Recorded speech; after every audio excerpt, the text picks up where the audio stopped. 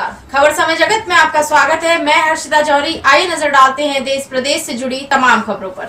नमस्कार, खबर समय जगत में आपका स्वागत है। आइए देखते हैं आज की न्यूज़ अपडेट्स। ऊर्जा मंत्री ने किया विधायक कार्यालय का उद्घाटन। जी दोस्तों, राजगढ़ खिलचीपुर विधानसभा के नगर जीरापुर में विधायक कार्यालय का उद्घाटन करने पधारे मध्य प्रदेश शासन के ऊर्जा मंत्री प्रियव्रत सिंह का कार्यकर्ताओं द्वारा जोरदार ढोल धमाकों व आतिशबाजी कर फूल मालाओं से स्वागत किया गया। ऊर्जा मंत्री प्रियव्रत सिंह ने अपने कर कमरों द्वारा मंत्रोच्चारण के साथ भगवान का विधिवत पूजन अर्चन करते हुए कार्यालय का उद्घाटन किया।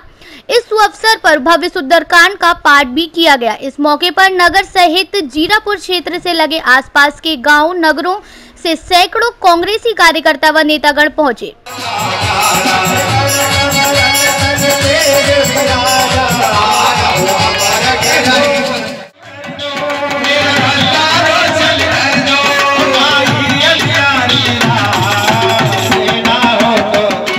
खबर समय जगत के लिए राजगढ़ से कैमरामैन लखन गुर्जर के साथ ब्यूरो चीफ मुकेश बैरागी की रिपोर्ट। खबर समय जगत, एक संदेश पूरा देश, एक आगाज़ सच दिखाने का।